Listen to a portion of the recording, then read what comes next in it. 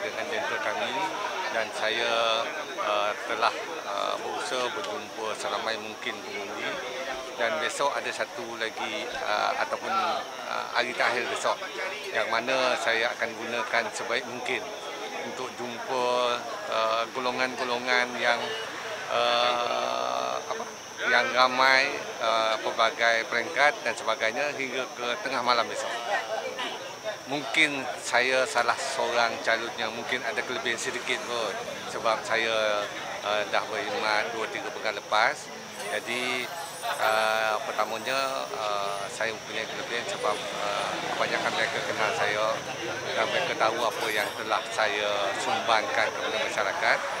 InsyaAllah kalau sekali lagi saya diberikan mandat untuk menjadi wakil kepada mereka penduduk dan penghuni sini saya akan terus bekerja dengan baik, dengan kuat untuk mewakili mereka untuk menyampaikan segala suara mereka jadi penghubung jambatan di antara masyarakat dan kerajaan dan juga begitu sebaliknya. Uh, dari segi pembangunan uh, kawasan Dewan Negeri Cemurung dan daerah bawah ini dia uh, boleh dikatakan lengkap dengan sarana kelengkapan kemudian asas dulu tak ada hospital, kamu dah dapat hospital. Di sini dah ada terbina sebuah universiti, uh, dah ada sebuah uh, sekolah bersama penuh. Kami mesti banyak institusi kemahiran. Uh, namun uh, selepas ini mungkin apa yang lebih perlu saya tekankan adalah uh, tentang untuk merancangkan lagi aktiviti rantaian ekonomi untuk uh, masyarakat.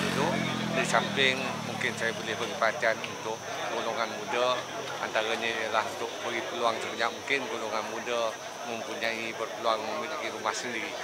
Dari pandangan saya, uh, hemat saya, uh, ramai yang saya jumpa, uh, kini masyarakat benar-benar dah faham apa yang paling penting adalah kita perlu menubuhkan kerajaan yang mantap.